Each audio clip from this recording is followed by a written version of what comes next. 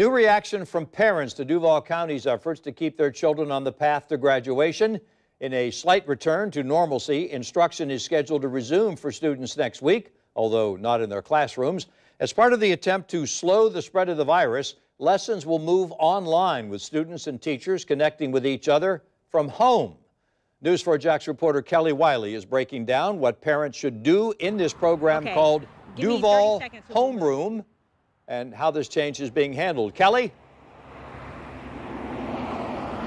Well, parents tell me this is going to be a challenge for them. Uh, they tell me they weren't having expecting to pay for daycare and to set daycare up for weeks on end. And some parents tell me they've been out of work, thus missing paychecks.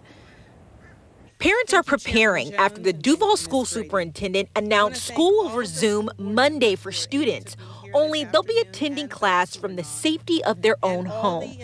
This comes as districts across the state plan to extend spring break for weeks to prevent the spread of the novel coronavirus. Parents like Christine Devon, who works as a medical health professional, worry about the unexpected financial strain this will put on her family and others. I have not been in work. This is my first week back at work, but we also closed down too, so for safety.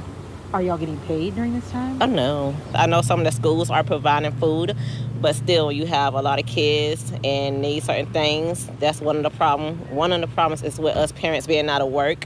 We not having the income to provide what we need to provide provide for the kids and also take care of the bills. She and all Duval County parents are being asked to fill out this online survey, asking if their children need a laptop or if they have Wi Fi access. You're able to fill it out online or on your cell phone. Beginning on Monday morning, elementary grade instructional packets will be available online on Duval Homeroom. They'll also be available to pick up at elementary schools beginning next week and will be distributed at bus stops. DCPS says the schedule of bus stop times and locations will also be posted on Duval Homeroom Monday morning. Parents like Virginia worry about the logistics. Please, Lord, help me. in helping her child do the work. I think it's wonderful because they're thinking about the kids. I'm working from home as much as I can, but then having to make sure that he's going to be on a schedule and get his schoolwork done.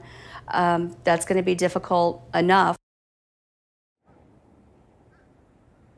And here's what's important to do now. First, get that survey done. Uh, they really need to know the information about your laptop and Wi Fi access. Next, go ahead and save the Duval Homeroom webpage link. They're going to be delivering educational packets to bus stops and they'll be available at elementary schools, but they're also going to be uploaded to that Duval Homeroom page. We posted that link on news4jax.com. You can also find the bus stop schedule for Monday on there. We know a lot of parents have been asking about that.